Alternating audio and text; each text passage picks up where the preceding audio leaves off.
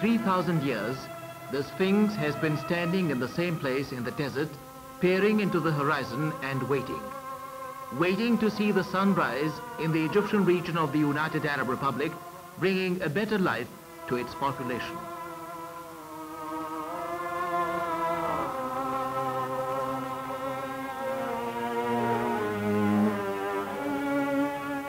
The Sphinx, which lived through many centuries, had many stories to tell.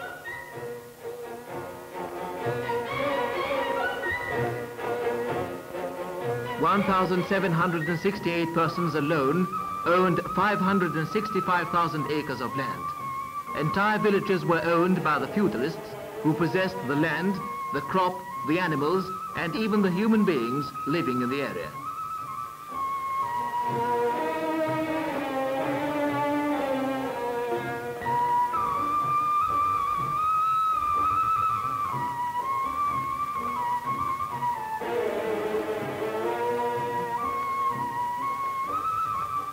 Filled with sorrow and disappointment, the Sphinx could see how the feudalists exploited the farmer only to spend the fortunes they accumulated from his sweat and blood on luxuries and entertainment.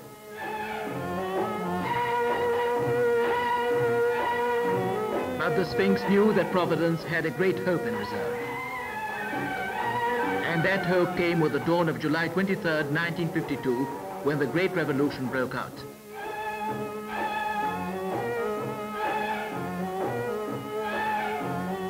On September 9, 1952, the Agrarian Reform Law was promulgated, putting an end to feudalism. The land was distributed fairly, and special committees were busy making social and economic studies.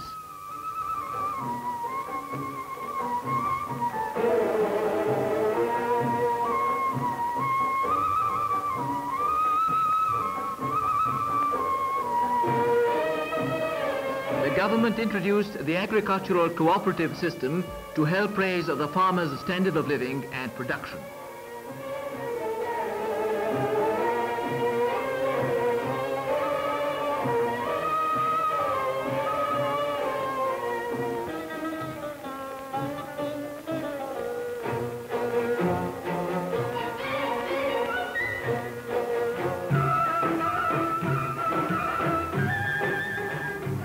Two hundred and six cooperative societies were set up in the southern region of the United Arab Republic to the benefit of all farmers.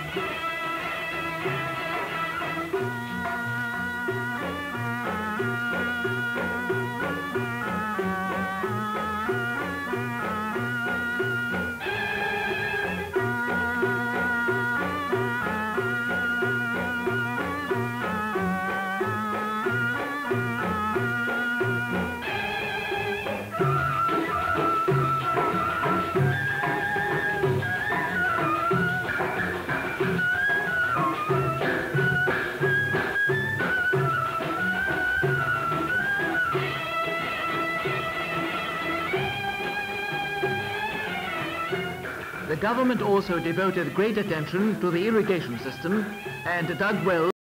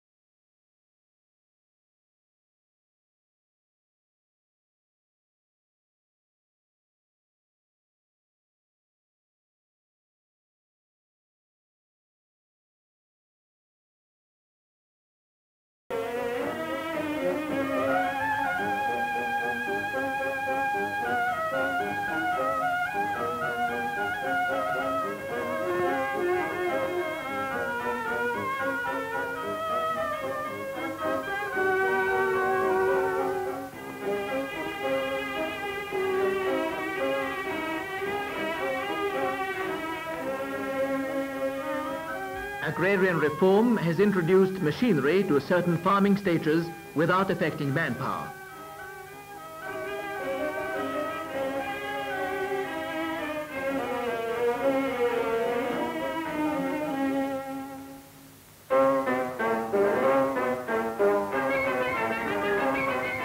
In the meantime, the cooperative societies have imported thousands of tons of insecticides to preserve the crops.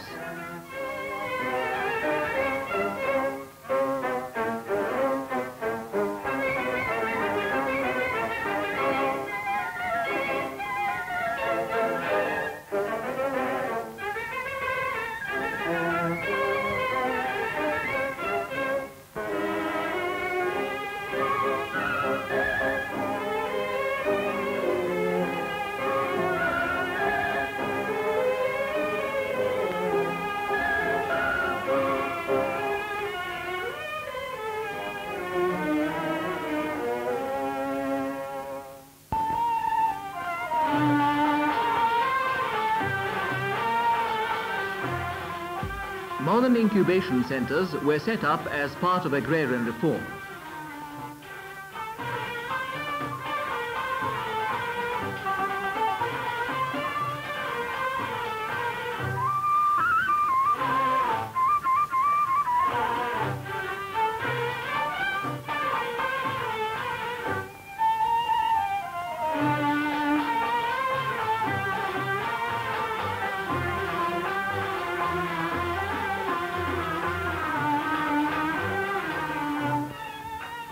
These centres are the most important in the entire Middle East.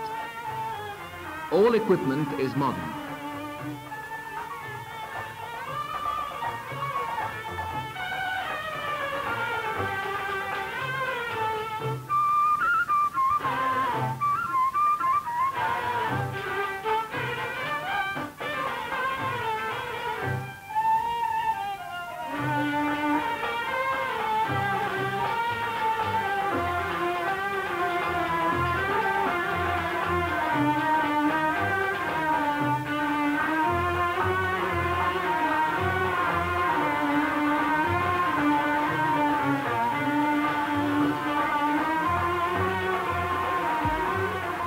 Addition, veterinary centres were formed to look after the sheep and cattle.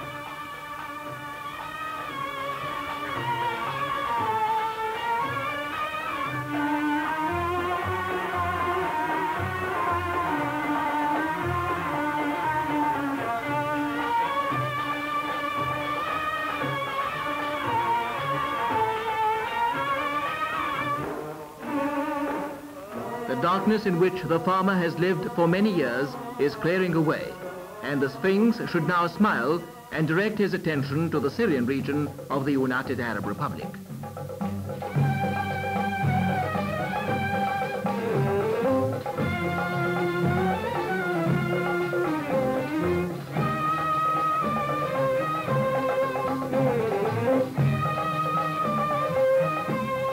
Damascus, the oldest city in the world, with its landmarks and ancient remains, has outlived the tragedies of time.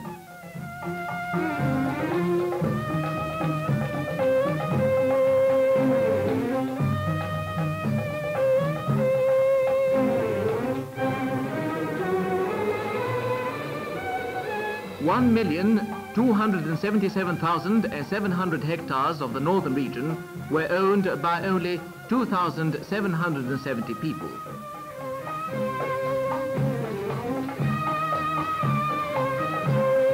This is feudalism which creates one class of despotic owners and another of enslaved farmers. There could be no social justice with such a system prevailing.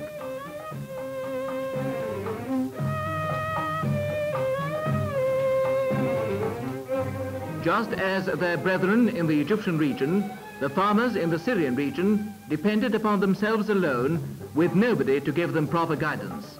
They remained poor, ignorant and sick with no care from the feudalists.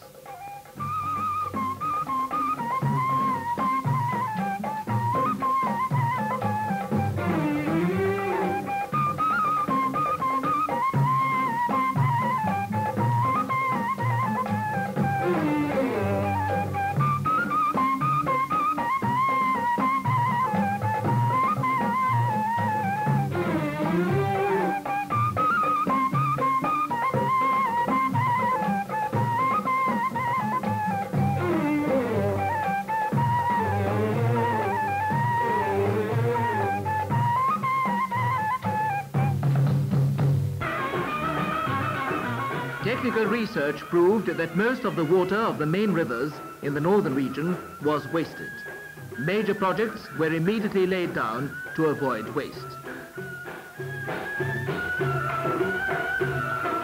The Privileges won by the farmers in the Egyptian region as a result of the agrarian reform law are now enjoyed by their brethren in the Syrian region following the application of the same law as from September 1958. No more bondage and no more feudalism. The aim is social justice for all.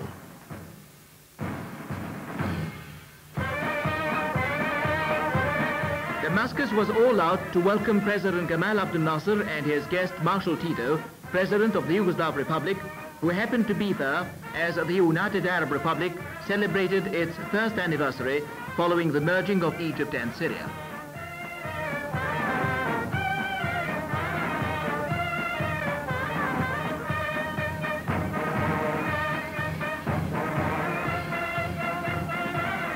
Impressive parade was held as part of the celebrations.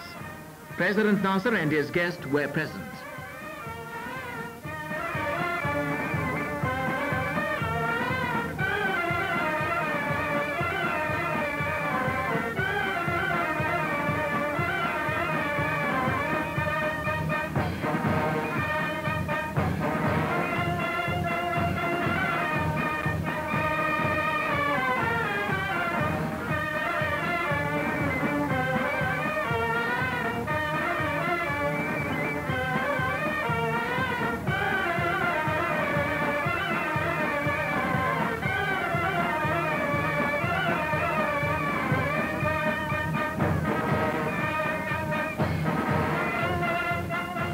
Following the parade, President Nasser distributed the ownership acts to the small owners and farmers amid great joy and happiness. The new republic was celebrating two occasions, the first anniversary of the birth of the United Arab Republic and the Agrarian Reform Festival.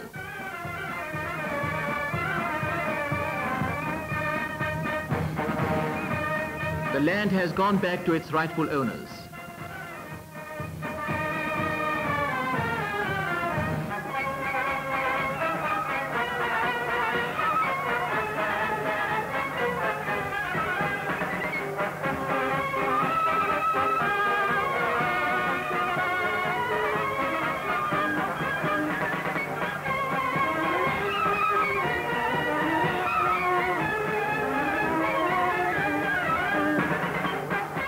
Time the Sphinx looked at the future with pride and faith, wishing the United Arab Republic peace and prosperity.